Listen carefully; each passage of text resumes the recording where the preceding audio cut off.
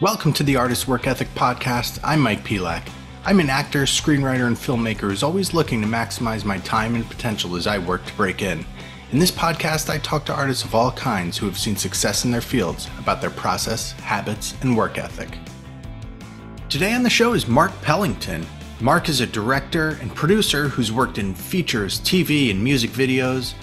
Arlington Road, The Mothman Prophecies, and Going All the Way are a few of the films he's directed. In TV, he's directed episodes of Blindspot, Cold Case, many others. He's also been prolific in music videos, directing videos by Pearl Jam, Bruce Springsteen, The Foo Fighters, Demi Lovato, Michael Jackson, Jon Bon Jovi, Nine Inch Nails, Alice in Chains, Public Enemy, U2, REM, and many more. A couple quick things before we jump into the episode. I've talked in the past about myself working on breaking into screenwriting please check out blackoilfilms.com slash screenwriting. There you can check out some of the screenplays I've written. I have the first 10 pages of each one uploaded, but feel free to email me at the artist's work ethic podcast at gmail.com and I'd be happy to send you a full script if you're interested in reading. Last thing before we get into the episode, I would love anyone listening to subscribe, rate, and review the Artist's Work Ethic podcast wherever you listen to podcasts. It really helps us put the show out there for more people to listen to. All right, Mark, thank you for coming on with me today. My pleasure. So, your career has been expansive, crisscrossing between music videos, features, TV. How do you structure your daily life to balance your productivity and whatever whatever else you have going on in your life? there's a little backstory to that because what I do today in January of 2023, presently, in this day and age, is very different than what I did 30 years ago. I worked for MTV for six years, right? On staff as a producer, director, started as a PA so would go to the same place every day and work, and then you would go do shoots or whatever that was. But by 1990, when I left MTV and struck out on my own as a freelance commercial director, video director, filmmaker, you know, I've been on my own ever since. I may have been hired to work on films, hired to do things, hired, but I've never worked you know, for a company. And so having to be kind of self-sufficient, you know, I started at the beginning and just said, I'm going to keep going. I'll, I remember in 1990 getting a music video, living in a small apartment in New York and looking, getting the check and looking at my checkbook and writing like, you know, it's like, whew, thank God I got a $2,000 fee. Uh, my balance in my checkbook is $4,000 right? So you calculate, I got to pay taxes, but then you go get the next job, and then you get the next job, and you literally just keep going and going. So I think that kind of gig culture economy is still present. I talk to young people all the time. Hey, I want to get into business. Like, what business do you want to get into? What do you want to do? What's your passion?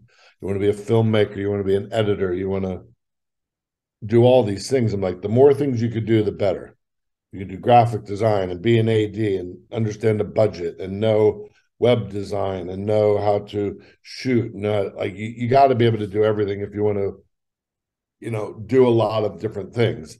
So it's different for a young person than it is for me back then. I personally have always loved documentary, narrative, music video, and I've been lucky enough to do it throughout my whole career.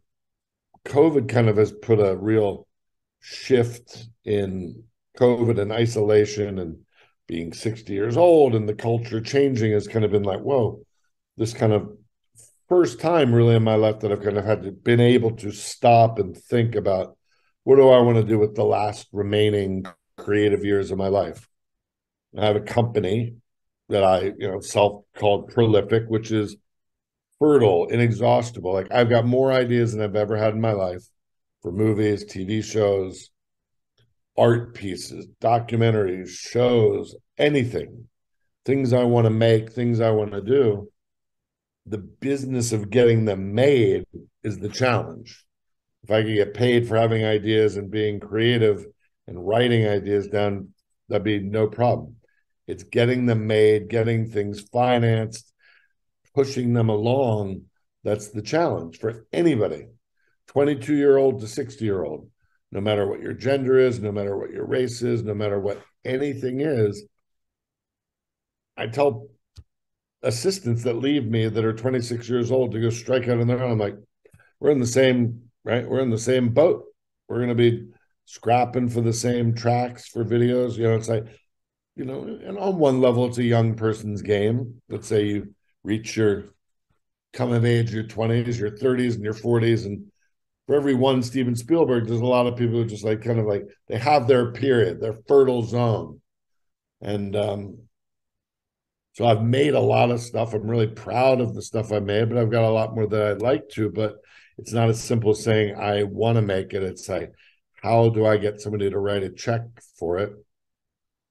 And I've written checks for my own movies. I've self-financed little short films and pieces. So as long as my brain is fertile, as long as my brain is creative, because within creativity lies hope. Within hope lies like, I really want to make this. And you band together with a writer or a writer and a producer or other people. Like hope springs eternal and enthusiasm is always rampant within the fantasy and imagination of we want to make something. The practicality of getting it made can be very daunting. Have a thick skin to just keep going. And it's a business and a culture of ultimately sticking to your guns, accepting rejection, being able to like learn from it. Just give you an example. I'm coming to New York next week, right? I have a two meetings with a company that I'm trying to get the final financing for on a documentary I've been making about an early MTV show, Buzz, that I made. A little cult show, but I've been working on it and self-financed up to about 25,000 of my own. But I really want to get to the next level and finish this film. Be very esoteric, small, but I think a look at an early 90s, that world when analog was handing over to digital when the world was exploding after the Berlin Wall, a TV show that was kind of presaging what the internet was. There's a lot of strands and media centric kind of information, technology. What we were using at the time was ahead of its time. How we told stories was very different. So, you know, I want to make a documentary about that. So, trying to get the funds for that is one mission. Working on a book, trying to meet a writer for a movie like so there's uh, there might be 30 things i'm working on at any one time and i keep my list and say what am i doing today what do i need to do on that follow up with the producer about vince vaughn when are we going to find out about that next like every project has its kind of to do but i also print something out from new year's resolutions to like not chase or beg or plead Do you know like hey, checking in, somebody has a script, but like if they don't get back to you after two or three attempts, they're ignoring you and they're not interested, which sucks, which is oftentimes rude. The business has gotten very isolated, very rude, very like people can just ghost you. And in the old days, people communicated, people got back to you, people returned emails and phone calls and sat face to face. But I think that as our culture has gotten bigger and more isolated, more fragmented, our ability to communicate has gotten dis, dis, disappearing. Is I think really fallen through. Zoom is a little bit of a technological um, substitute for that. I think the, you make an interesting point in just the the basic emails. You know, I mean, maybe this goes off onto a pet peeve of mine, but you know, I, I there's nothing worse than sending emails into an abyss. in my end, I always try to, you know, reply to people timely and consider that part of my working day and just general decency, you know, for for lack of a better word. Yeah, I put you know, I don't I'm gonna like I mean, it's again, I don't want to pay an assistant if I'm not working or bringing in something. It's like I have to look out like everybody else. Eggs are eight bucks for me too, so everybody's got to like look at their bottom line, right? And technology and phones have made it pretty easy to keep your own schedule and do things. But I always try to get back to somebody. If they hit me up on my website, even if I put it into a separate bin and I get back to them, I can't. I could spend most of my day doing interviews and helping people with their careers. And sometimes I just can't. Sometimes I have to say, I'm just super busy and I like to give back. I like to help. An actress I just worked with, and I worked with 15 years ago in a Budweiser commercial, lives in Atlanta. And she has an idea for a TV show. And I'm like, working the team, spending time trying to help her even get it to the right people I totally want to do that. I just literally told her, I said, I can't do this for a month. Personal things, just too much, too much. Now, if I was shooting and I was going into prep on a movie, all that would just shut down, right? Because you have to be 100% focused when you're creating something. Maybe it's like, okay, keep time for my daughter. She's in college. And then put your energy into what you're making so when I'm not actually making something or shooting something or editing something, I can I can do a lot in my day. And I fill my days up. Sometimes it's writing and reading and researching. Other days like great face-to-face meetings. I try to do it off days, three days off for other things I need to do. So how you spend your time, who you communicate with, how you communicate with them, how you reach goals, how you discipline, as you say, discipline, work ethic. I was talking to my brother over Christmas. And again, this has been a very not easy two years where like commercial businesses collapse, can't get arrested in that. Like, like, okay, so I'm just kind of like kind of reset. Think, where is the business now? What is the world doing? And not force myself into it, but how do I adapt? Also, like, what do I want to do as an artist and as a filmmaker? just come to my brother and he's in real estate and just got to keep working hard. And I was like, I totally got to work hard. But it's also not in my control. If I got four scripts out to actors or financiers, all I can do is control the work that goes out. So I'm trying to learn from that be like, okay, that's the fifth pass on this script. What's the deal? Maybe it's not as good as I think. So how do I work harder on it? How do you face some difficult truths. It's like anybody really. You just you, you wake up and you try and put your feet on the ground and have some gratitude for where you are. That's a big thing for me.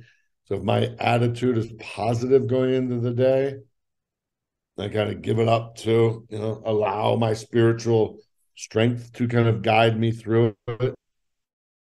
Then maybe forcing it, you know, let go and not force it and see what comes to you. I'm finding that's been very interesting. It's funny you're you're you're like you're you're getting all of my questions before I even ask them. I'm, I'm like looking down my list. I'm like, how have you dealt with rejection in your career? How do you how do you do your long term, short term goal setting? And you're like you're like knocking on everything. Uh, this is great. Well, I'm 60 years old, right? And I've been through a lot of a lot of experiences, a lot of life experiences, a lot of loss, a lot of a lot of loss, a lot of life challenges, which force you to, you know, do those things. Kind of address the questions you ask. You know, only only by doing it. You know, ask the guy who's a senior in college the different questions than the freshman in college. How do you do this? How, you're like, by the time you get to your senior year, you're like, ah, and you literally come to the point and say, you know what? I don't know anything. You can't control shit. You got to look yourself in the mirror and be honest. You know when you're lying to yourself, you know when you're making excuses, you know when you're bullshitting. So that pure honesty is really the foundation of all things. So like, okay, great. Today is done. Tomorrow's a new day. Like today, right now, an hour into my day is a chance to make some good choices. I'm doing a perfect example. I'm read doing thing with you, finishing a script, finishing a treatment, some notes for a treatment for a music video. Then I'm doing a interview with Tim Robbins and Jeff Bridges for a Blu-ray commentary for Arlington Road. For getting a chance for those two to talk to each other for a for a European Blu-ray, and just I'm moderating a little Q and A for a couple of hours, and then I'll come home and maybe do a call with a producer about a project and what our next step is. That's a pretty normal. That's a fairly normal day, and I'm not even sure what I'm doing t- tomorrow. So I'm really not to think. I'm not. I'm trying not to think about it. Well, it sounds like organization is is a big thing for you in not really multitasking, but managing the status of different projects, different things going on all at one time. Very much so.